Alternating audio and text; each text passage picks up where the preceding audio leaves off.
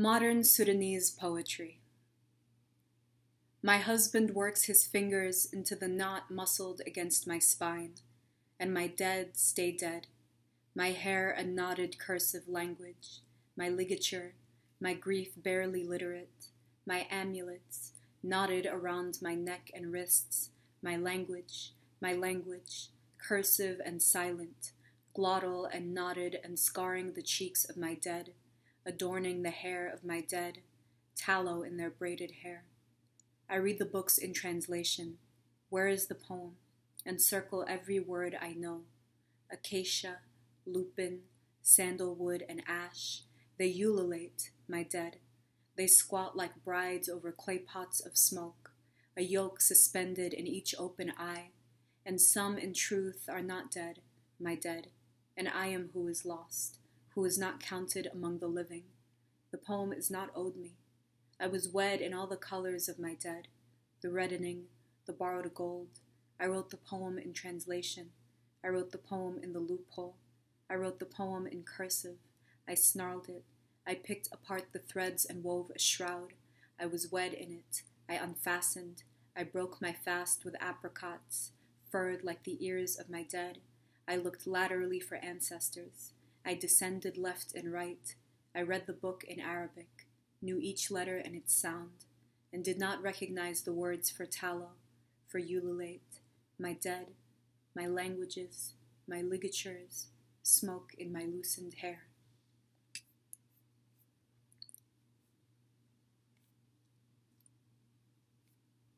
From my friends in reply to a question. After David Ignatow. I'm okay, and of course, I'm not, but I go through the motions. I wake up to the alarm's howl, even when the word in my body is no. I dress in livid colors. I blacken the hairs of each eyebrow. I bake and braise and pickle. I write and read and lose hours to the blur of the television.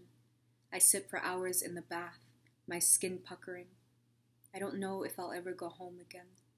I don't know who I've seen for the last time. The Arabic comes back to me in streaks of paint, verb forms and vocabularies I may never again have occasion to use.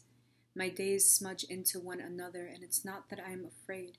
It's as if I am watching it all happen below, and I am somewhere above the room, wondering if the rice is burning. I am somewhere above the room, watching my new aches, watching the news as if I am reading it in a novel. I look up the names of people I knew in childhood, learn their new and angular faces, their faraway lives. My grandfather pixelates into a smile, and I work my creaking muscles to replicate it. I do not ask if we will ever meet again.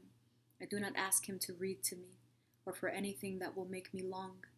I dull it with sugar and oil, with cooking shows, with sleep. I sleep twelve hours each night, and in my dreams I am fleeing a war. In my dreams, I am touching the faces of my friends.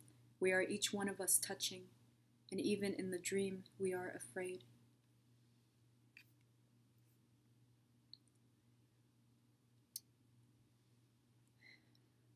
In memory of Kamau Brathwaite, I sat by the lake and ate five tiny oranges, and every strand of flesh and pith was my teacher. I grew warm and soft in the sun, and from this ripening made a poem to search for my teacher. I hear in every syllable its older drum. For this first part of my life, my ancestor was alive. My ancestor was kind, and my ancestor was my teacher. I learned music as the bright flesh of the poem. I learned percussion as its pith. I learned to listen to my people speak and harness my many mouths to write, my many mouths to music, my people as my teacher. I want badly to write well. I want badly for my teacher to remain or return, to explain again about the drum, draw a circle for me to stand inside. I want more than I dare write. I want more than I understand. I want porous borders to the other world, to part and reveal him there, my teacher. I want the lake and its secrets. I want enormous things, the audacity for words previously not mine, since poured from my softer places. I know enough to believe the miracle of my faith, not resurrection and not water, but the book. I want badly to explain something about music, something exact and pure, but what is more polluted than language? Language hollowed to an instrument by my selfish grief. You were enormous as a god, and you were kind to me. And from that brief overlap, I sit down every time to write, hands fragrant with pith and peel.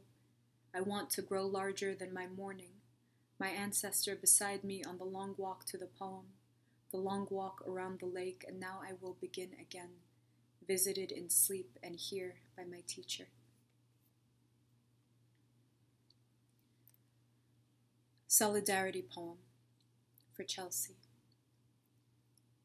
Wherever you exist, I believe in the existence of mint leaves, of silk, of air bluing clean as the tear gases clear.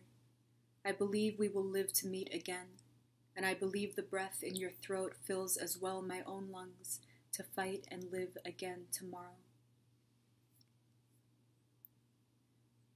A memory of us for Bianca. When I think of us, I think of the lake water near Longtown, what might not technically constitute a lake, but I prefer that word for the open mouth of its vowel, how it called us to its throat and held us there, in the sun, the high points of our faces slick with light, and its arc around our shoulders, the soft gathering of flesh around our knees, the lone chair we found near the shore where we took turns posing, jutting out an eloquent hip, cackling in the bright language of flowers for whom I downloaded an app and learned their names Beautyberry, Yarrow, Cornus Florida, Black Eyed Susan, and you, and you, my bright hibiscus, my every color.